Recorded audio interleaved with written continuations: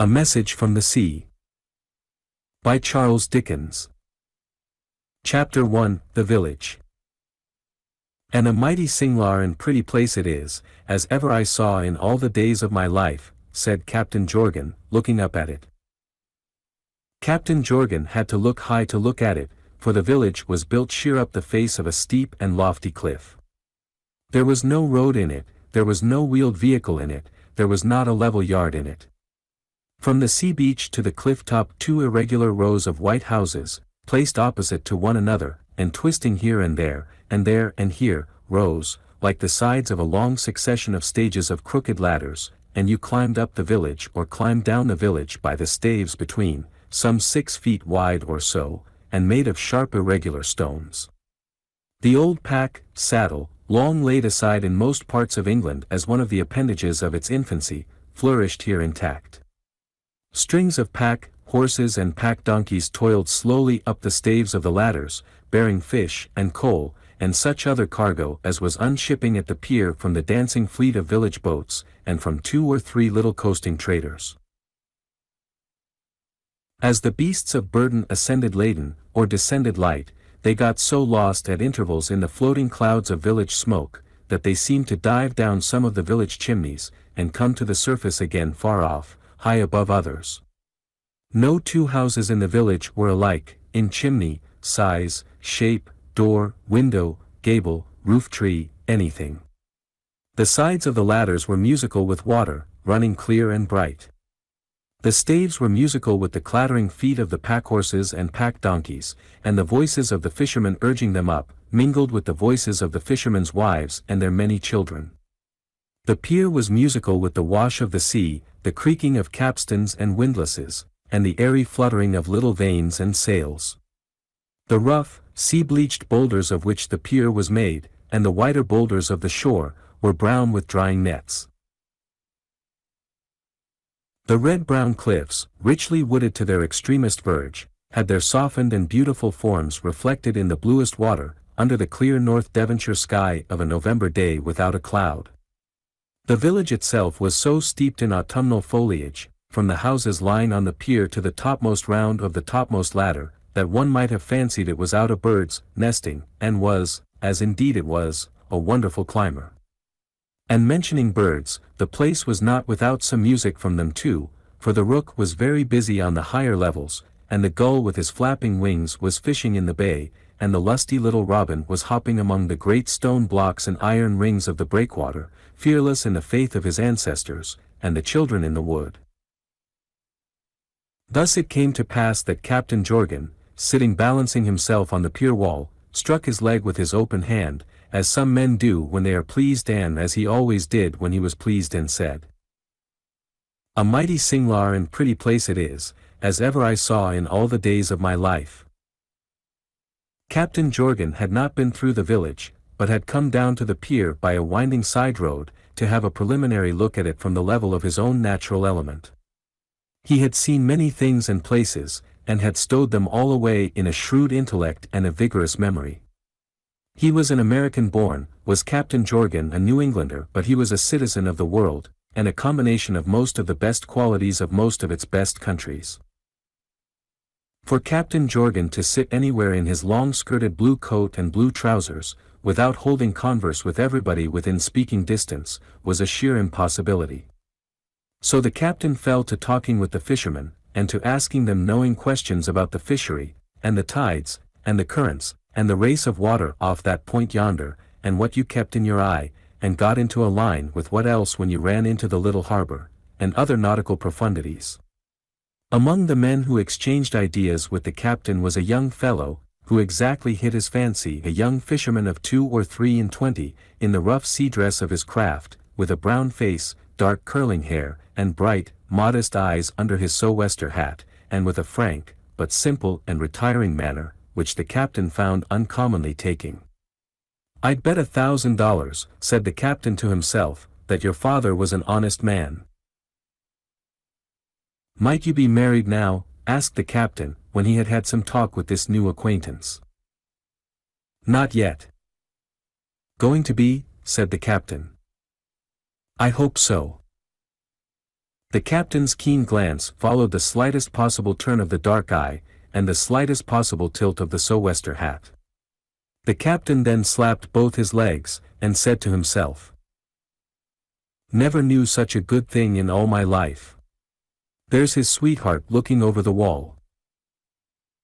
There was a very pretty girl looking over the wall, from a little platform of cottage, vine, and fuchsia, and she certainly did not look as if the presence of this young fisherman in the landscape made it any the less sunny and hopeful for her. Captain Jorgan, having doubled himself up to laugh with that hearty good nature which is quite exultant in the innocent happiness of other people, had undoubted himself, and was going to start a new subject, when there appeared coming down the lower ladders of stones, a man whom he hailed as Tom Pettifer, Ho. Tom Pettifer, Ho, responded with alacrity, and in speedy course descended on the pier. Afraid of a sunstroke in England in November, Tom, that you wear your tropical hat, strongly paid outside and paper-lined inside, here, said the captain, eyeing it. It's as well to be on the safe side, sir, replied Tom. Safe side, repeated the captain, laughing. You'd guard against a sunstroke, with that old hat, in an ice pack. Wow! What have you made out at the post office? It is the post office, sir. What's the post office, said the captain. The name, sir. The name keeps the post office. A coincidence, said the captain. A lucky bit. Show me where it is. Goodbye, shipmates, for the present. I shall come and have another look at you, afore I leave, this afternoon.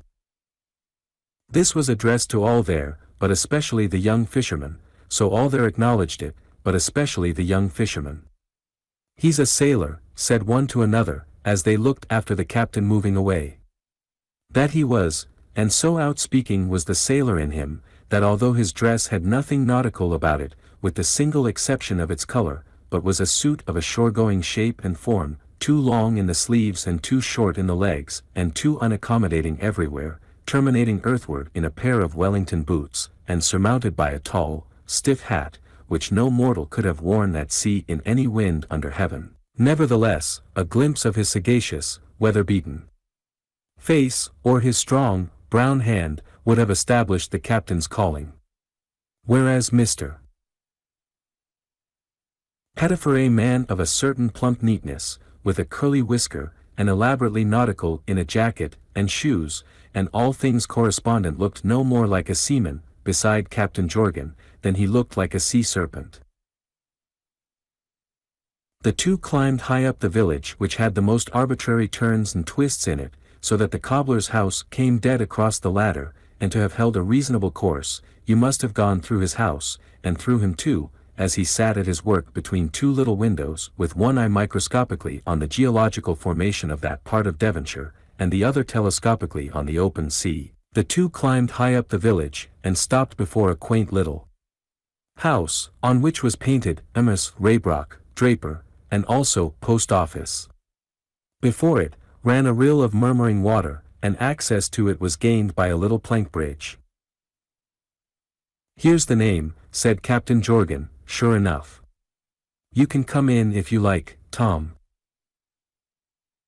The captain opened the door, and passed into an odd little shop, about six feet high, with a great variety of beams and bumps in the ceiling, and, besides the principal window giving on the ladder of stones, a purblind little window of a single pane of glass, peeping out of an abutting corner at the sunlighted ocean, and winking at its brightness. How do you do, ma'am, said the captain. I am very glad to see you. I have come a long way to see you. Have you, sir? Then I am sure I am very glad to see you, though I don't know you from Adam. Thus a comely elderly woman, short of stature, plump of form, sparkling and dark of eye, who, perfectly clean and neat herself, stood in the midst of her perfectly clean and neat arrangements, and surveyed Captain Jorgan with smiling curiosity. Ah! But you are a sailor, sir, she added, almost immediately, and with a slight movement of her hands, that was not very unlike wringing them, then you are heartily welcome. Thank ye, ma'am, said the captain, I don't know what it is, I am sure, that brings out the salt in me, but everybody seems to see it on the crown of my hat and the collar of my coat. Yes, ma'am, I am in that way of life. And the other gentleman, too, said Mrs. Raybrock. Well now, ma'am, said the captain, glancing shrewdly at the other gentleman, you are that nigh right, that he goes to see if that makes him a sailor. This is my steward, ma'am, Tom Pettifer, he's been a-most all trades you could name, in the course of his life would have bought all your chairs and tables once, if you had wished to sell him but now he's my steward. My name's Jorgan, and I'm a ship owner, and I sail my own and my partner's ships, and have done so this five and twenty year. According to custom I am called Captain Jorgan, but I am no more a captain, bless your heart, than you are. Perhaps you'll come into my parlor, sir, and take a chair, said Mrs. Raybrock. Exactly what I was going to propose myself, ma'am. After you. Thus replying, and enjoining Tom to give an eye to the shop, Captain Jorgan followed Mrs. Raybrock into the little, low back room decorated with divers plants in pots, tea trays, old china teapots, and punch bowls which was at once the private sitting room of the Raybrock family and the inner cabinet of the post office of the village of Steepways. Now, ma'am, said the captain, it don't signify a cent to you where I was born, except but here the shadow of some one entering fell upon the captain's figure, and he broke off to double himself up, slap both his legs, and ejaculate, never knew such a thing in all my life. Here he is again. How are you? These words referred to the young fellow who had so taken Captain Jorgan's fancy down at the pier. To make it all quite complete he came in accompanied by the sweetheart whom the captain had detected looking over the wall. A prettier sweetheart the sun could not have shone upon that shining day. As she stood before the captain, with her rosy lips just parted in surprise, her brown eyes a little wider open than was usual from the same cause, and her breathing a little quickened by the ascent, and possibly by some mysterious hurry and flurry at the parlor door, in which the captain had observed her face to be for a moment totally eclipsed by the sou'wester hat, she looked so charming, that the captain felt himself under a moral obligation to slap both his legs again. She was very simply dressed, with no other ornament than an autumnal flower in her bosom. She wore neither hat nor bonnet, but merely a scarf or kerchief, folded squarely back over the head, to keep the sun off according to a fashion that may be sometimes seen in the more genial parts of England as well as of Italy, and which is probably the first fashion of headdress that came into the world when grasses and leaves went out. In my country, said the captain, rising to give her his chair, and dexterously sliding it close to another chair on which the young fisherman must necessarily establish himself. In my country we should call Devonshire beauty first rate. Whenever a frank manner is offensive, it is because it is strained or feigned, for there may be quite as much intolerable affectation in plainness as in mincing nicety. All that the captain said and did was honestly according to his nature, and his nature was open nature and good nature, therefore, when he paid this little compliment, and expressed with a sparkle or two of his knowing eye, I see how it is, and nothing could be better, he had established a delicate confidence on that subject with the family. I was saying to your worthy mother, said the captain to the young man, after again introducing himself by name and occupation, I was saying to your mother, and you're very like her, that it didn't signify where I was born, except that I was raised on question, asking ground, where the babies as soon as ever they come into the world, inquire of their mothers, Neo, how old may you be, and what are you a-goin' to name me? Which is a fact. Here he slapped his leg. Such being the case, I may be excused for asking you if your name's Alfred. Yes, sir, my name is Alfred, returned the young man. I am not a conjurer, pursued the captain, and don't think me so, or I shall right soon undeceive you. Likewise don't think, if you please, though I do come from that country of the babies, that I am asking questions for question asking sake, for I am not. Somebody belonging to you went to sea. My elder brother, Hugh, returned the young man. He said it in an altered and lower voice, and glanced at his mother, who raised her hands hurriedly, and put them together across her black gown, and looked eagerly at the visitor. No. For God's sake, don't think that, said the captain, in a solemn way, I bring no good tidings of him. There was a silence, and the mother turned her face to the fire and put her hand between it and her eyes. The young fisherman slightly motioned toward the window, and the captain, looking in that direction, saw a young widow, sitting at a neighboring window across a little garden, engaged in needlework, with a young child sleeping on her bosom. The silence continued until the captain asked of Alfred. How long is it since it happened? He shipped for his last voyage better than three years ago. Ship struck upon some reef or rock, as I take it, said the captain, and all hands lost. Yes. Wow, said the captain, after a shorter silence, here I sit who may come to the same end, like enough. He holds the seas in the hollow of his hand. We must all strike somewhere and go down. Our comfort, then, for ourselves and one another is to have done our duty. I'd wager your brother did his. He did, answered the young fisherman. If ever man strove faithfully on all occasions to do his duty, my brother did. My brother was not a quick man, anything but that, but he was a faithful, true, and just man. We were the sons of only a small tradesman in this county, sir, yet our father was as watchful of his good name as if he had been a king. A precious sight more so, I hope bearing in mind the general run of that class of critter, said the captain. But I interrupt. My brother considered that our father left the good name to us, to keep clear and true. Your brother considered right, said the captain, and you couldn't take care of a better legacy. But again I interrupt. No, for I have nothing more to say. We know that Hugh lived well for the good name, and we feel certain that he died well for the good name. And now it has come into my keeping. And that's all. Well spoken, cried the captain. Well spoken, young man. Concerning the manner of your brother's death, by this time the captain had released the hand he had shaken, and sat with his own broad, brown hands spread out on his knees, and spoke aside concerning the manner of your brother's death, it may be that I have some information to give you, though it may not be, for I am far from sure. Can we have a little talk alone? The young man rose, but not before the captain's quick eye had noticed that, on the pretty sweethearts turning to the window to greet the young widow with a nod and a wave of the hand, the young widow had held up to her the needlework on which she was engaged, with a patient and pleasant smile. So the captain said, being on his legs. What might she be making now? What is Margaret making, Kitty? asked the young fisherman with one of his arms apparently mislaid somewhere. As Kitty only blushed in reply, the captain doubled himself up as far as he could, standing, and said, with a slap of his leg. In my country we should call it wedding clothes. Fact. We should, I do assure you.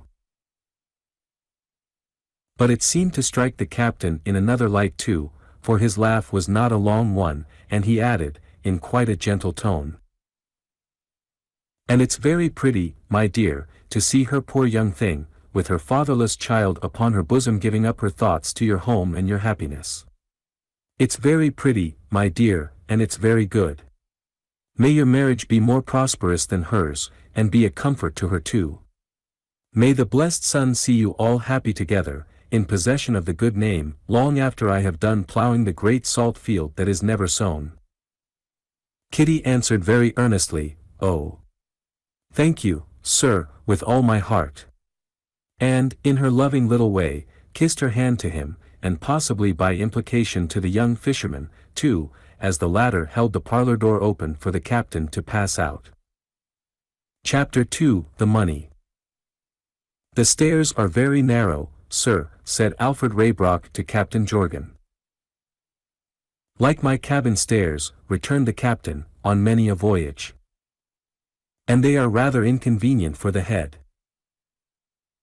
If my head can't take care of itself by this time, after all the knocking about the world it has had, replied the captain, as unconcernedly as if he had no connection with it, it's not worth looking after.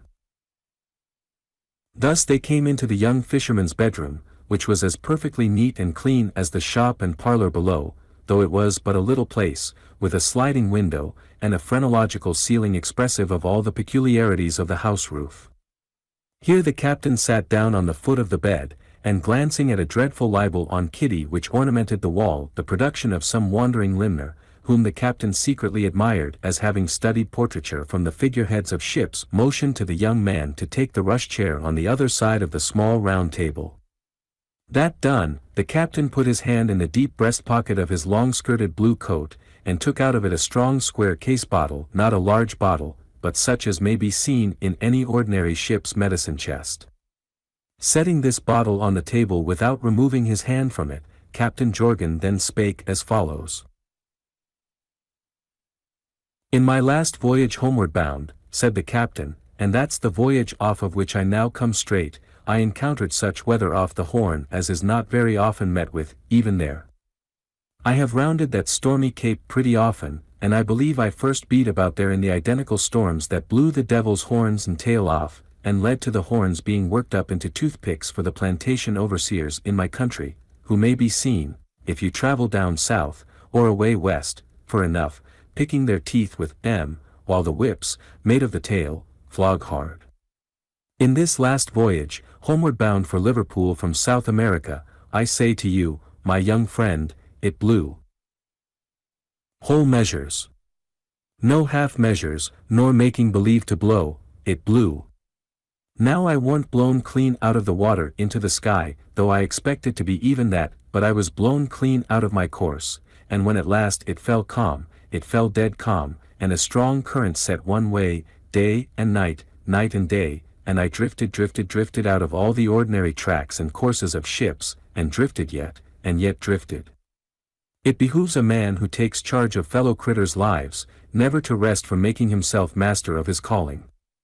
I never did rest, and consequently I knew pretty well, specially looking over the side in the dead calm of that strong current, what dangers to expect, and what precautions to take against M. In short, we were driving head-on to an island. There was no island in the chart, and, therefore, you may say it was ill manners in the island to be there, I don't dispute its bad breeding, but there it was. Thanks be to heaven, I was as ready for the island as the island was ready for me. I made it out myself from the masthead, and I got enough way upon her in good time to keep her off. I ordered a boat to be lowered and manned, and went in that boat myself to explore the island. There was a reef outside it, and, floating in a corner of the smooth water within the reef, was a heap of seaweed, and entangled in that seaweed was this bottle. Here the captain took his hand from the bottle for a moment, that the young fisherman might direct a wondering glance at it, and then replaced his band and went on.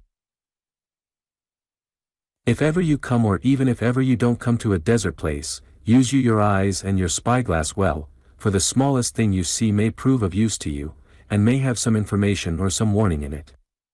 That's the principle on which I came to see this bottle.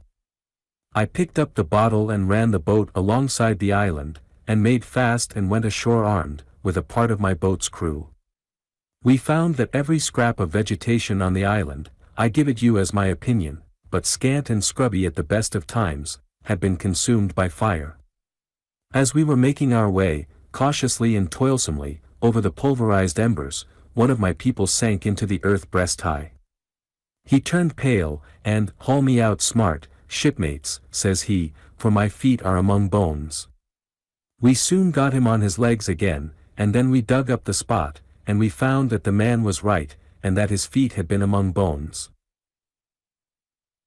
More than that, they were human bones, though whether the remains of one man, or of two or three men, what with calcination and ashes, and what with a poor practical knowledge of anatomy, I can't undertake to say.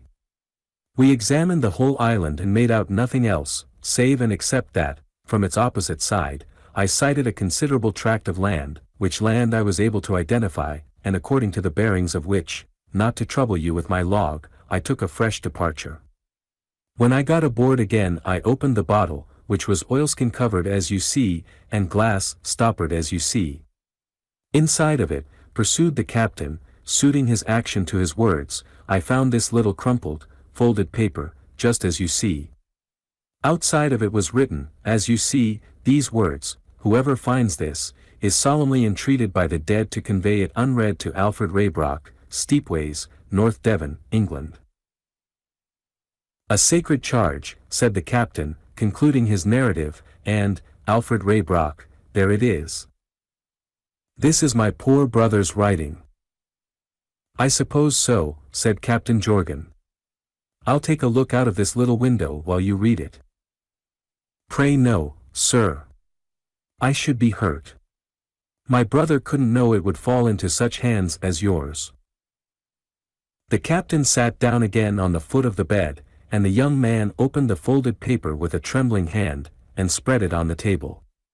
The ragged paper, evidently creased and torn both before and after being written on, was much blotted and stained, and the ink had faded and run, and many words were wanting. What the captain and the young fisherman made out together, after much rereading and much humoring of the folds of the paper, is given on the next page. The young fisherman had become more and more agitated, as the writing had become clearer to him. He now left it lying before the captain, over whose shoulder he had been reading it, and dropping into his former seat, leaned forward on the table and laid his face in his hands. What, man, urged the captain, don't give in. Be up and doing like a man. It is selfish, I know, but doing what, doing what, cried the young fisherman, in complete despair, and stamping his sea boot on the ground. Doing what? returned the captain. Something. I'd go down to the little breakwater below yonder, and take a wrench at one of the salt-rusted iron rings there, and either wrench it up by the roots or wrench my teeth out of my head, sooner than I'd do nothing. Nothing, ejaculated the captain. Any fool or fainting heart can do that, and nothing can come of nothing, which was pretended to be found out, I believe, by one of them Latin critters, said the captain with the deepest disdain, as if Adam hadn't found it out, afore ever he so much as named the beasts. Yet the captain saw, in spite of his bold words, that there was some greater reason than he yet understood for the young man's distress. And he eyed him with a sympathizing curiosity. Come, come, continued the captain, speak out. What is it, boy? You have seen how beautiful she is, sir, said the young man, looking up for the moment, with a flushed face and rumpled hair. Did any man ever say she weren't beautiful? retorted the captain. If so, go and lick him. The young man laughed fretfully in spite of himself, and said. It's not that, it's not that. Well, then, what is it, said the captain in a more soothing tone. The young fisherman mournfully composed himself to tell the captain what it was, and began, we were to have been married next Monday week. Were to have been, interrupted Captain Jorgan. And are to be. Hey. Young Raybrock shook his head, and traced out with his forefinger the words, poor father's five hundred pounds, in the written paper. Go along, said the captain. Five hundred pounds? Yes. That sum of money, pursued the young fisherman, entering with the greatest earnestness on his demonstration, while the captain eyed him with equal earnestness, was all my late father possessed. When he died, he owed no man more than he left means to pay, but he had been able to lay by only five hundred pounds. Five hundred pounds, repeated the captain. Yes. In his lifetime, years before, he had expressly laid the money aside to leave to my mother like to settle upon her, if I make myself understood. Yes. He had risked it once my father put down in writing at that time, respecting the money and was resolved never to risk it again.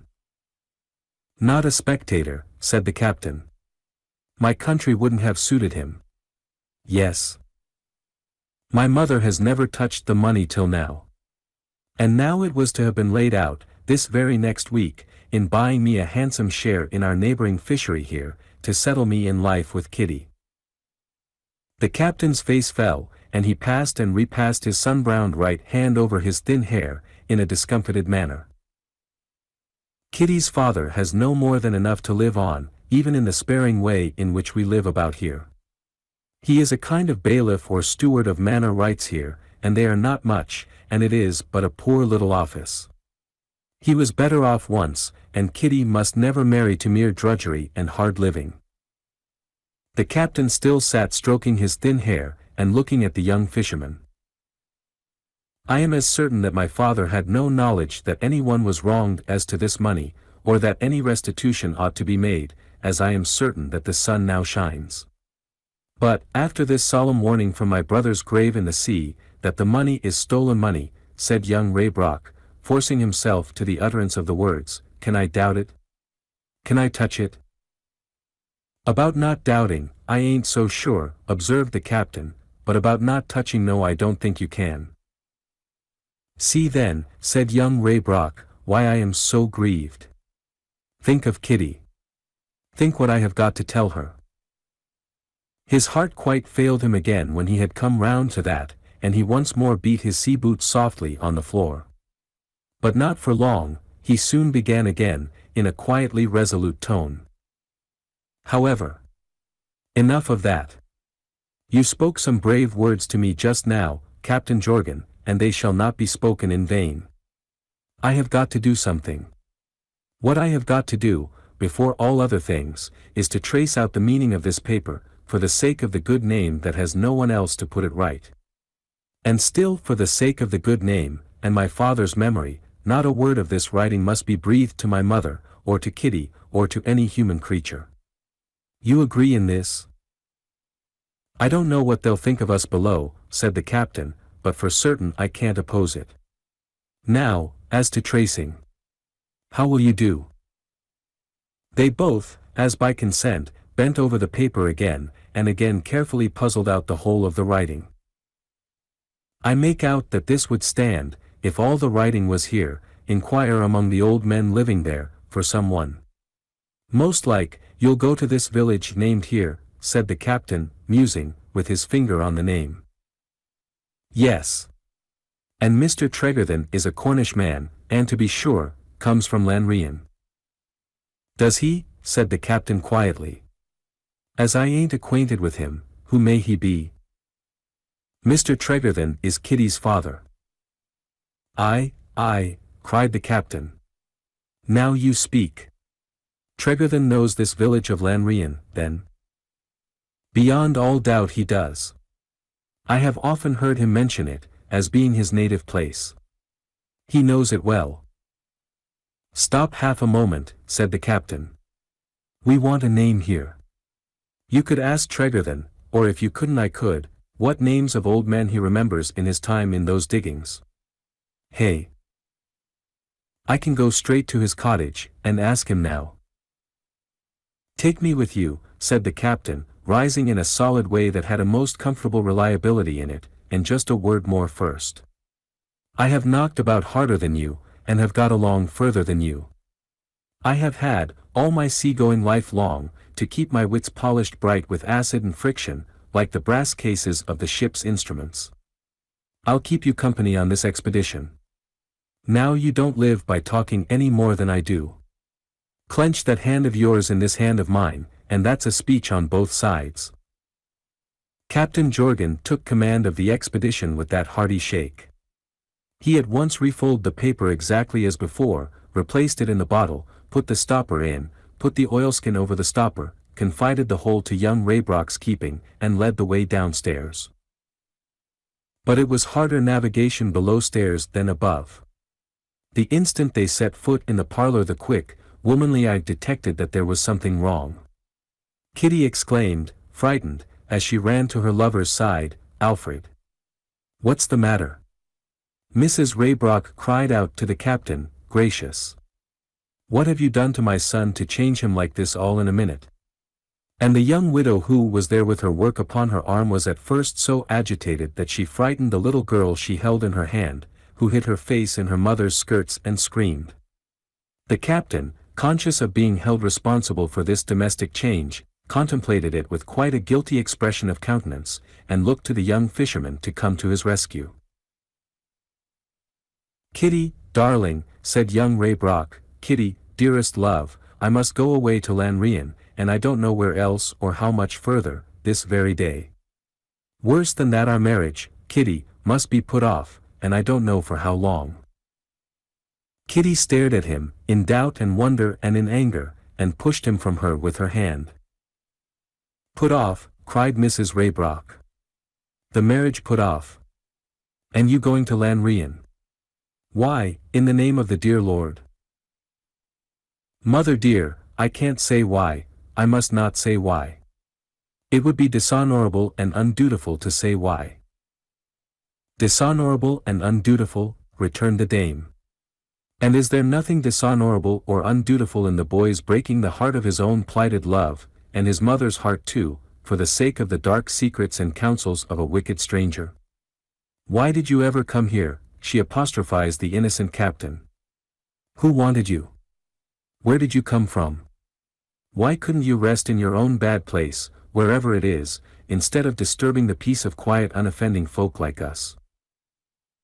And what, sobbed the poor little kitty, have I ever done to you, you hard and cruel captain, that you should come and serve me so? And then they both began to weep most pitifully, while the captain could only look from the one to the other, and lay hold of himself by the coat collar. Margaret, said the poor young fisherman, on his knees at Kitty's feet, while Kitty kept both her hands before her tearful face, to shut out the traitor from her view but kept her fingers wide asunder and looked at him all the time, Margaret, you have suffered so much, so uncomplainingly, and are always so careful and considerate. Do take my part, for poor Hugh's sake. The quiet Margaret was not appealed to in vain. I will, Alfred, she returned, and I do. I wish this gentleman had never come near us, whereupon the captain laid hold of himself the tighter, but I take your part for all that. I am sure you have some strong reason and some sufficient reason for what you do, strange as it is, and even for not saying why you do it, strange as that is. And, Kitty darling, you are bound to think so more than any one, for true love believes everything, and bears everything, and trusts everything. And, mother dear, you are bound to think so too, for you know you have been blessed with good sons, whose word was always as good as their oath, and who were brought up in as true a sense of honor as any gentleman in this land. And I am sure you have no more call, mother, to doubt your living son than to doubt your dead son, and for the sake of the dear dead, I stand up for the dear living. While now, the captain struck in, with enthusiasm, this I say, that whether your opinions flatter me or not, you are a young woman of sense, and spirit, and feeling, and I'd sooner have you by my side in the hour of danger, than a good half of the men I've ever fallen in with or fallen out with, either. Margaret did not return the captain's compliment, or appear fully to reciprocate his good opinion, but she applied herself to the consolation of Kitty, and of Kitty's mother-in-law that was to have been next Monday week, and soon restored the parlor to a quiet condition.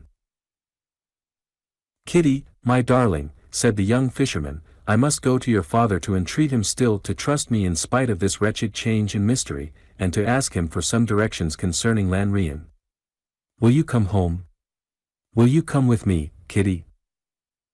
Kitty answered not a word, but rose sobbing, with the end of her simple headdress at her eyes. Captain Jorgan followed the lovers out, quite sheepishly, pausing in the shop to give an instruction to Mr. Pettifer. Here, Tom, said the captain, in a low voice. Here's something in your line. Here's an old lady poorly and low in her spirits. Cheer her up a bit, Tom. Cheer em all up. Mr. Pettifer, with a brisk nod of intelligence, immediately assumed his steward face, and went with his quiet, helpful, steward step into the parlor, where the captain had the great satisfaction of seeing him, through the glass door, take the child in his arms, who offered no objection, and bend over Mrs. Raybrock, administering soft words of consolation. Though what he finds to say, unless he's telling her that tea'll soon be over, or that most people is so at first, or that it'll do her good afterward, I cannot imaginate, was the captain's reflection as he followed the lovers.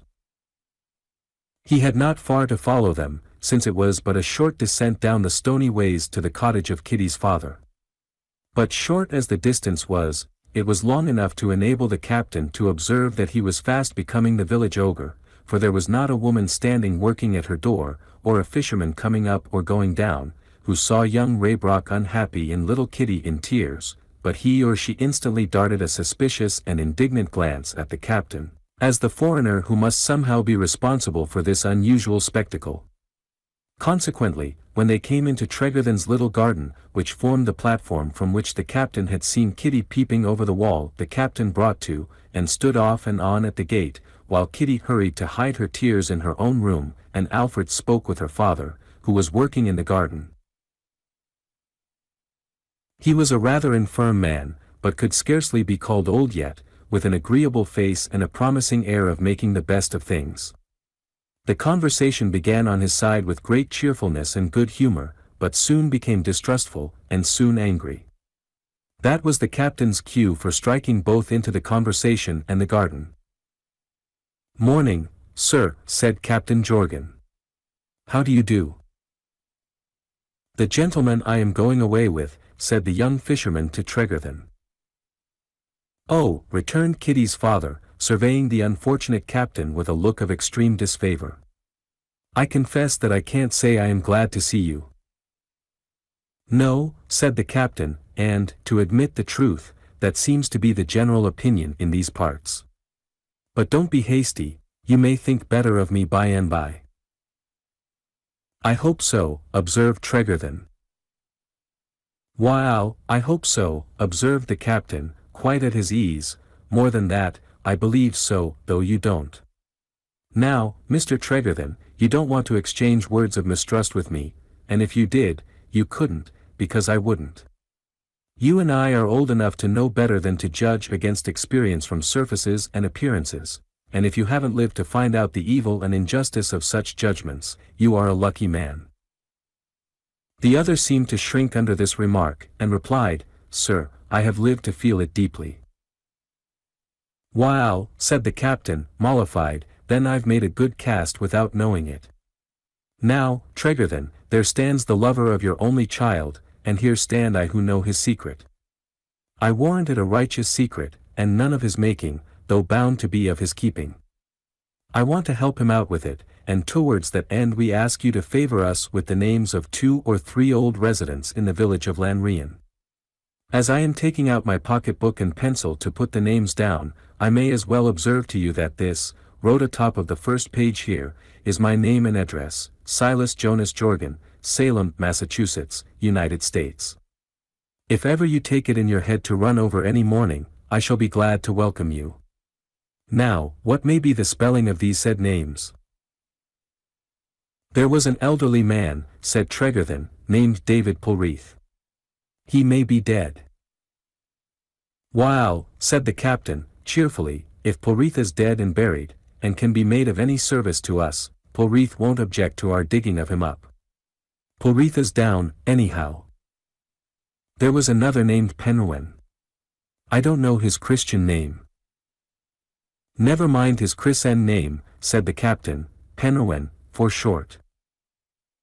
There was another named John Tregear. And a pleasant-sounding name, too, said the captain, John Tregear's booked. I can recall no other except old Parvis. One of old Parvis's family I reckon, said the captain, kept a dry goods store in New York City, and realized a handsome competency by burning his house to ashes. Same name, anyhow. David Polreath, Uncryzen Penrewen, John Tregear, and old Arson Parvis. I cannot recall any others at the moment. Thank ye, said the captain.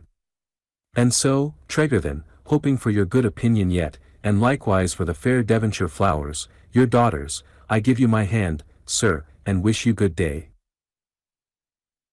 Young Raybrock accompanied him disconsolately, for there was no kitty at the window when he looked up, no kitty in the garden when he shut the gate, no kitty gazing after them along the stony ways when they begin to climb back. Now I tell you what, said the captain. Not being at present calculated to promote harmony in your family, I won't come in. You go and get your dinner at home, and I'll get mine at the little hotel. Let our hour of meeting be two o'clock, and you'll find me smoking a cigar in the sun afore the hotel door. Tell Tom Pettifer, my steward, to consider himself on duty, and to look after your people till we come back, you'll find he'll have made himself useful to them already, and will be quite acceptable. All was done as Captain Jorgan directed. Punctually at two o'clock the young fisherman appeared with his knapsack at his back, and punctually at two o'clock the captain jerked away the last feather end of his cigar. Let me carry your baggage, Captain Jorgan, I can easily take it with mine. Thank ye, said the captain. I'll carry it myself. It's only a comb. They climbed out of the village, and paused among the trees and fern on the summit of the hill above, to take breath, and to look down at the beautiful sea. Suddenly the captain gave his leg a resounding slap, and cried, Never knew such a right thing in all my life. And ran away. The cause of this abrupt retirement on the part of the captain was little Kitty among the trees. The captain went out of sight and waited, and kept out of sight and waited, until it occurred to him to beguile the time with another cigar. He lighted it, and smoked it out, and still he was out of sight and waiting. He stole within sight at last, and saw the lovers, with their arms entwined and their bent heads touching, moving slowly among the trees. It was the golden time of the afternoon then, and the captain said to himself, Golden sun, golden sea, golden sails, golden leaves, golden love, golden youth, a golden state of things altogether. Nevertheless the captain found it necessary to hail his young companion before going out of sight again. In a few moments more he came up and they began their journey. That still young woman with the fatherless child, said Captain Jorgan, as they fell into step, didn't throw her words away, but good honest words are never thrown away. And now that I am conveying you off from that tender little thing that loves, and relies, and hopes, I feel just as if I was the snarling critter in the pictures, with the tight legs, the long nose, and the feather in his cap, the tips of whose mustaches get up nearer to his eyes the wickeder he gets. The young fisherman knew nothing of Mephistopheles, but he smiled when the captain stopped to double himself up and slap his leg, and they went along in right good fellowship. Note, Dickens didn't write chapters 3 and 4 and they are omitted in this edition. The story continues with Captain Jorgan and Alfred at Lanrean. Chapter 5 The Restitution Captain Jorgan, up and out betimes, had put the whole village of Lanrean under an amicable cross-examination, and was returning to the King Arthur's arms to breakfast, none the wiser for his trouble, when he beheld the young fisherman advancing to meet him, accompanied by a stranger. A glance at this stranger assured the captain that he could be no other than the seafaring man, and the captain was about to hail him as a fellow craftsman, when the two stood still and silent before the captain, and the captain stood still, silent, and wondering before them. Why, what's this? Cried the captain, when at last he broke the silence. You two are alike. You two are much alike. What's this? Not a word was answered on the other side, until after the sea-faring brother had got hold of the captain's right hand, and the fisherman brother had got hold of the captain's left hand, and if ever the captain had had his fill of hand-shaking, from his birth to that hour, he had it then. And presently up and spoke the two brothers, one at a time, two at a time, two dozen at a time for the bewilderment into which they plunged the captain, until he gradually had Hugh Raybrock's deliverance made clear to him, and also unravelled the fact that the person referred to in the half-obliterated paper was Tregarthen himself. Formerly, dear Captain Jorgan, said Alfred, of Lanrean, you recollect? Kitty and her father came to live at Steepways after Hugh shipped on his last voyage. I, I, cried the captain, fetching a breath. Now you have me in tow. Then your brother here don't know his sister-in-law that is to be so much as by name? Never saw her, never heard of her. I, I, I, cried the captain. Why then we every one go back together paper, writer, and all and take Tregarthen into the secret we kept from him. Surely, said Alfred, we can't help it now. We must go through with our duty. Not a doubt, returned the captain. Give me an arm apiece, and let us set this ship shape. So walking up and down in the shrill wind on the wild moor, while the neglected breakfast cooled within, the captain and the brothers settled their course of action. It was that they should all proceed by the quickest means they could secure to Barnstaple, and there look over the father's books and papers in the lawyer's keeping, as Hugh had proposed to himself to do if ever he reached home. That, enlightened or unenlightened, they should then return to Steepways and go straight to Mr. Tregarthen, and tell him all they knew, and see what came of it, and act accordingly. Lastly, that when they got there they should enter the village with all precautions against Hugh's being recognized by any chance, and that to the captain should be consigned the task of preparing his wife and mother for his restoration to this life. For you see, quoth Captain Jorgan, touching the last head, it requires caution any way, great joys being as dangerous as great griefs, if not more dangerous, as being more uncommon, and therefore less provided against, in this round world of ours. And besides, I should like to free my name with the ladies, and take you home again at your brightest and luckiest, so don't let's throw away a chance of success. The captain was highly lauded by the brothers for his kind interest and foresight. And now stop, said the captain, coming to a standstill, and looking from one brother to the other, with quite a new rigging of wrinkles about each eye, you are of opinion, to the elder, that you are rather slow. I assure you I am very slow, said the honest Hugh. While, replied the captain, I assure you that to the best of my belief I am rather smart. Now a slow man ain't good at quick business, is he? That was clear to both. You, said the captain, turning to the younger brother, are a little in love, ain't you? Not a little, Captain Jorgan. Much or little, you're sort preoccupied, ain't you? It was impossible to be denied. And a sort preoccupied man ain't good at quick business, is he, said the captain. Equally clear on all sides. Now, said the captain, I ain't in love myself, and I've made many a smart run across the ocean, and I should like to carry on and go ahead with this affair of yours, and make a run slick through it. Shall I try? Will you hand it over to me? They were both delighted to do so, and thanked him heartily. Good, said the captain, taking out his watch. This is half past 8 a.m., Friday morning. I'll jot that down, and we'll compute how many hours we've been out when we run into your mother's post office. There. The entry's made, and now we go ahead. They went ahead so well that before the Barnstaple lawyer's office was open next morning, the captain was sitting whistling on the step of the door, waiting for the clerk to come down the street with his key and open it. But instead of the clerk there came the master, with whom the captain fraternized on the spot to an extent that utterly confounded him. As he personally knew both Hugh and Alfred, there was no difficulty in obtaining immediate access to such of the father's papers as were in his keeping. These were chiefly old letters and cash accounts, from which the captain, with a shrewdness and dispatch that left the lawyer far behind, established with perfect clearness, by noon, the following particulars.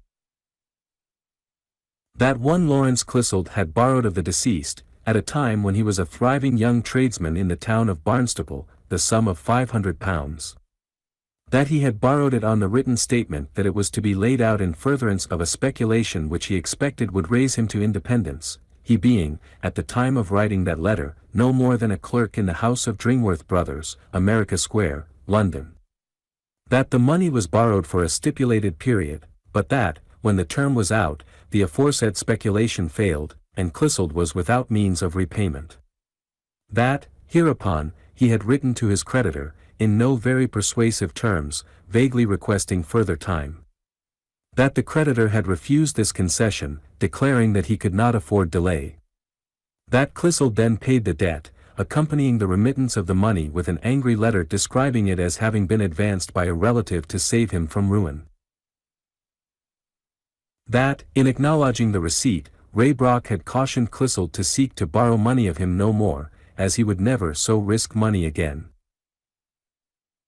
Before the lawyer the captain said never a word in reference to these discoveries. But when the papers had been put back in their box, and he and his two companions were well out of the office, his right leg suffered for it, and he said, So far this run's begun with a fair wind and a prosperous, for don't you see that all this agrees with that dutiful trust in his father maintained by the slow member of the Raybrock family? Whether the brothers had seen it before or no, they saw it now. Not that the captain gave them much time to contemplate the state of things at their ease, for he instantly whipped them into a chaise again, and bore them off to Steepways.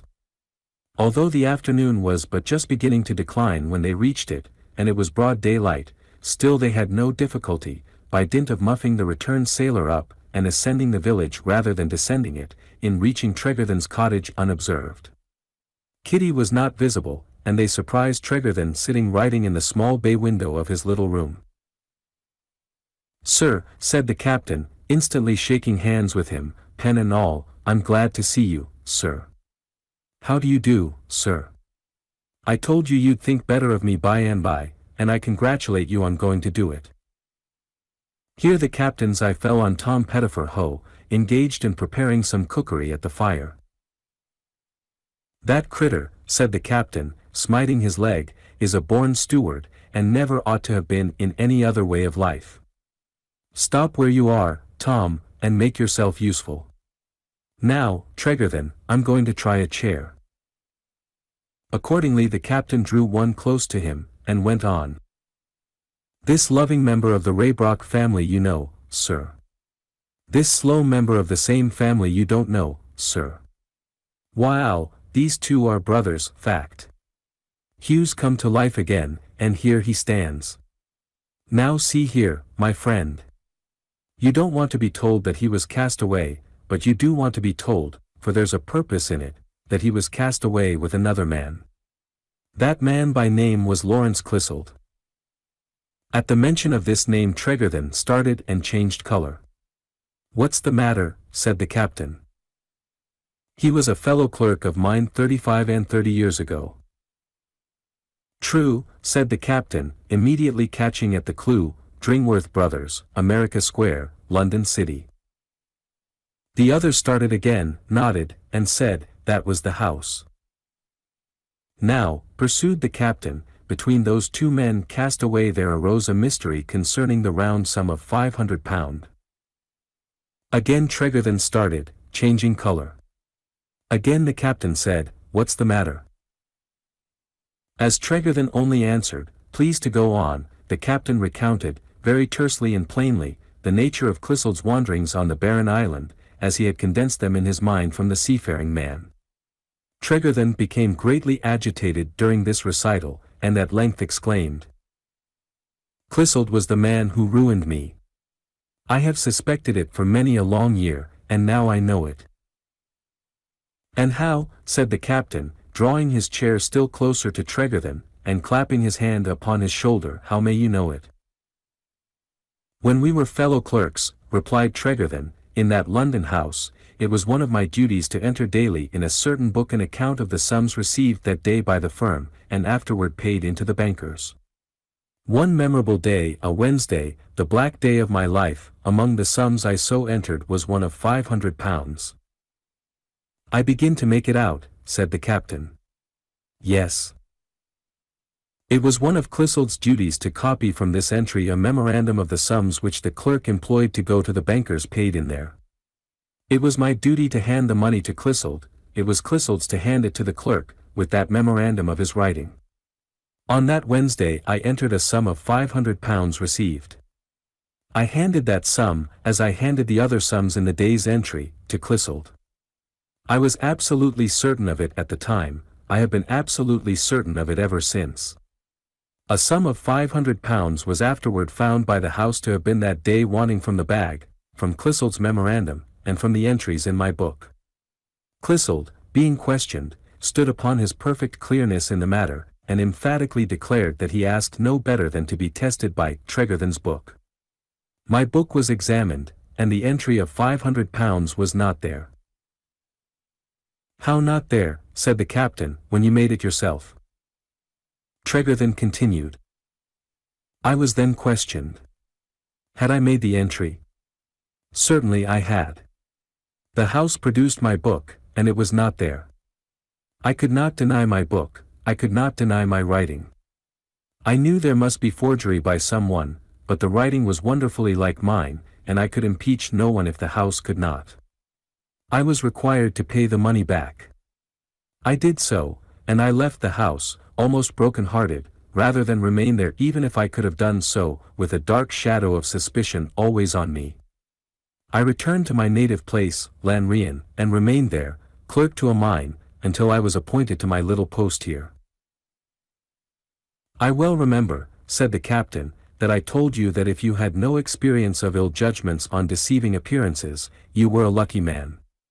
You went hurt at that, and I see why. I'm sorry. Thus it is, said Tregarthen. Of my own innocence I have of course been sure, it has been at once my comfort and my trial. Of Clissold I have always had suspicions almost amounting to certainty, but they have never been confirmed until now. For my daughter's sake and for my own I have carried this subject in my own heart, as the only secret of my life, and have long believed that it would die with me. While, my good sir, said the captain cordially, the present question is, and will be long, I hope, concerning living, and not dying. Now, here are our two honest friends, the loving Raybrock and the slow. Here they stand, agreed on one point, on which I'd back them round the world, and right across it from north to south, and then again from east to west, and through it, from your deepest Cornish mine to China. It is, that they will never use this same so often mentioned sum of money, and that restitution of it must be made to you. These two, the loving member and the slow, for the sake of the right and of their father's memory, will have it ready for you tomorrow. Take it, and ease their minds and mine, and end a most unfortunate transaction.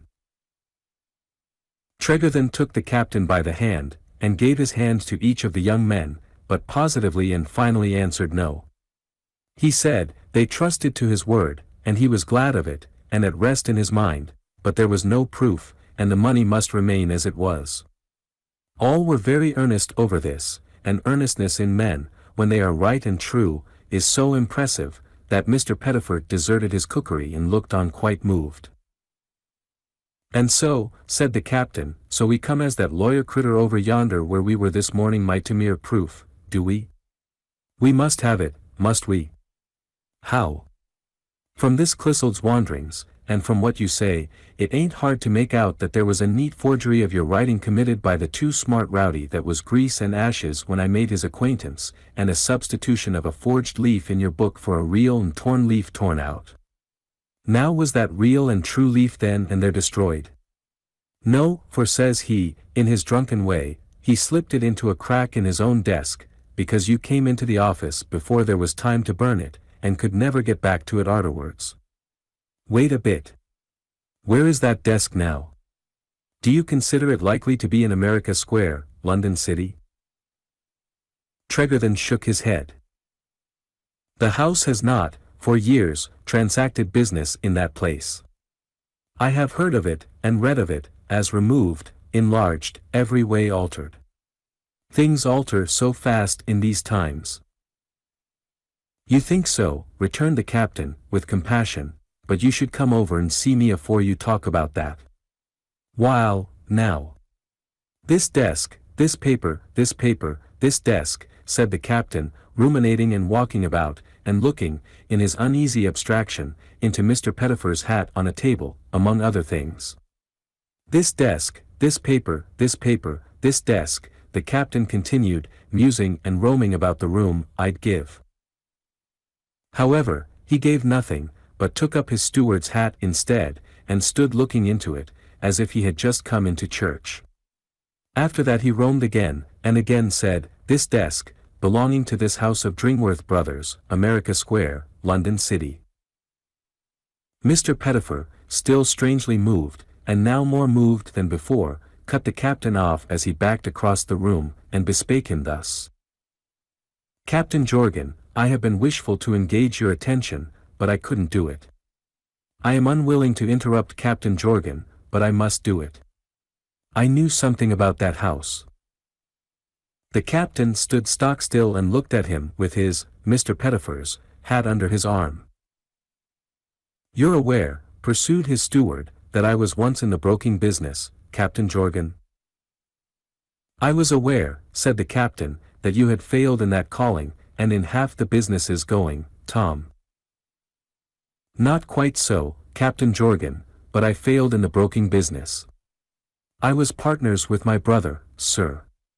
There was a sale of old office furniture at Dringworth Brothers when the house was moved from America Square, and me and my brother made what we call in the trade a deal there, sir. And I'll make bold to say, sir, that the only thing I ever had from my brother, or from any relation, for my relations have mostly taken property from me instead of giving me any, was an old desk we bought at that same sale, with a crack in it. My brother wouldn't have given me even that, when we broke partnership, if it had been worth anything. Where is that desk now? said the captain. Well, Captain Jorgan, replied the steward, I couldn't say for certain where it is now, but when I saw it last, which was last time we were outward bound, it was at a very nice lady's at Wapping, along with a little chest of mine which was detained for a small matter of a bill owing. The captain, instead of paying that rapt attention to his steward which was rendered by the other three persons present, went to church again, in respect of the steward's hat. And a most especially agitated and memorable face the captain produced from it, after a short pause. Now, Tom, said the captain, I spoke to you, when we first came here, respecting your constitutional weakness on the subject of sunstroke. You did, sir. Will my slow friend, said the captain, lend me his arm, or I shall sink right backwards into this blessed steward's cookery. Now, Tom, pursued the captain, when the required assistance was given, on your oath as a steward, didn't you take that desk to pieces to make a better one of it and put it together fresh or something of the kind? On my oath I did, sir, replied the steward. And by the blessing of heaven, my friends, one and all, cried the captain, radiant with joy of the heaven that put it into this Tom Pettifer's head to take so much care of his head against the bright sun, he lined his hat with the original leaf in Tregarthen's writing and here it is. With that the captain, to the utter destruction of Mr. Pettifer's favorite hat, produced the book leaf, very much worn, but still legible, and gave both his legs such tremendous slaps that they were heard far off in the bay, and never accounted for. A quarter past 5 p.m., said the captain, pulling out his watch, and that's 33 hours and a quarter in all, and a pretty run. How they were all overpowered with delight and triumph, how the money was restored, then and there, to Tregarthen, how Tregarthen, then and there, gave it all to his daughter, how the captain undertook to go to Dringworth Brothers and re-establish the reputation of their forgotten old clerk, how Kitty came in, and was nearly torn to pieces, and the marriage was reappointed, needs not to be told. Nor how she and the young fisherman went home to the post office to prepare the way for the captain's coming, by declaring him to be the mightiest of men, who had made all their fortunes and then dutifully withdrew together, in order that he might have the domestic coast entirely to himself. How he availed himself of it is all that remains to tell. Deeply delighted with his trust, and putting his heart into it, he raised the latch of the post office parlor where Mrs. Raybrock and the young widow sat, and said, May I come in? Sure you may, Captain Jorgan, replied the old lady. And good reason you have to be free of the house, though you have not been too well used in it by some who ought to have known better. I ask your pardon. No you don't, ma'am, said the captain, for I won't let you. While, to be sure. By this time he had taken a chair on the hearth between them. Never felt such an evil spirit in the whole course of my life. There. I tell you. I could a most have cut my own connection. Like the dealer in my country, away west, who when he had let himself be outdone in a bargain, said to himself, Now I tell you what. I'll never speak to you again. And he never did, but joined a settlement of oysters, and translated the multiplication table into their language, which is a fact that can be proved. If you doubt it, mention it to any oyster you come across, and see if he'll have the face to contradict it. He took the child from her mother's lap and set it on his knee. Not a bit afraid of me now, you see. Knows I am fond of small people. I have a child, and she's a girl, and I sing to her sometimes. What do you sing? asked Margaret. Not a long song, my dear. Silas Jorgan played the organ. That's about all. And sometimes I tell her stories, stories of sailors supposed to be lost, and recovered after all hope was abandoned. Here the captain musingly went back to his song. Silas Jorgan played the organ. Repeating it with his eyes on the fire, as he softly danced the child on his knee. For he felt that Margaret had stopped working. Yes, said the captain, still looking at the fire, I make up stories and tell him to that child. Stories of shipwreck on desert islands, and long delay in getting back to civilized logs. It is to stories the like of that, mostly, that. Silas Jorgan plays the organ. There was no light in the room but the light of the fire, for the shades of night were on the village, and the stars had begun to peep out of the sky one by one, as the houses of the village peeped out from among the foliage when the night departed. The captain felt that Margaret's eyes were upon him, and thought it discreetest to keep his own eyes on the fire. Yes, I make em up, said the captain. I make up stories of brothers brought together by the good providence of God, of sons brought back to mothers, husbands brought back to wives, fathers raised from the deep for little children like herself. Margaret's touch was on his arm, and he could not choose but look round now. Next moment her hand moved imploringly to his breast, and she was on her knees before him, supporting the mother, who was also kneeling. What's the matter, said the captain. What's the matter? Silas Jorgan played the. Their looks and tears were too much for him, and he could not finish the song, short as it was. Mistress Margaret, you have borne ill fortune well. Could you bear good fortune equally well, if it was to come? I hope so. I thankfully and humbly and earnestly hope so. Wow, my dear, said the captain, perhaps it has come. He's, don't be frightened shall I say the word. Alive? Yes. The thanks they fervently addressed to heaven were again too much for the captain, who openly took out his handkerchief and dried his eyes. He's no further off, resumed the captain, than my country. Indeed, he's no further off than his own native country. To tell you the truth, he's no further off than Falmouth. Indeed, I doubt if he's quite so fur. Indeed, if you was sure you could bear it nicely, and I was to do no more than whistle for him. The captain's trust was discharged. A rush came, and they were all together again. This was a fine opportunity for Tom Pettifer to appear with a tumbler of cold water, and he presently appeared with it, and administered it to the ladies, at the same time soothing them, and composing their dresses, exactly as if they had been passengers crossing the channel. The extent to which the captain slapped his legs, when Mr. Pettifer acquitted himself of this act of stewardship, could have been thoroughly appreciated by no one but himself, inasmuch as he must have slapped them black and blue, and they must have smarted tremendously. He couldn't stay for the wedding, having a few appointments to keep at the irreconcilable distance of about 4,000 miles. So next morning all the village cheered him up to the level ground above, and there he shook hands with a complete census of its population, and invited the whole, without exception, to come and stay several months with him at Salem, Massachusetts, U.S. And there as he stood on the spot where he had seen that little golden picture of love and parting, and from which he could that morning contemplate another golden picture with a vista of golden years in it, little Kitty put her arms around his neck, and kissed him on both his bronzed cheeks, and laid her pretty face upon his storm-beaten breast, in sight of all, ashamed to have called such a noble captain names. And there the captain waved his hat over his head three final times, and there he was last seen, going away accompanied by Tom Pettifer Ho, and carrying his hands in his pockets. And there, before that ground was softened with the fallen leaves of three more summers, a rosy little boy took his first unsteady run to a fair young mother's breast, and the name of that infant fisherman was Jorgan Raybrock.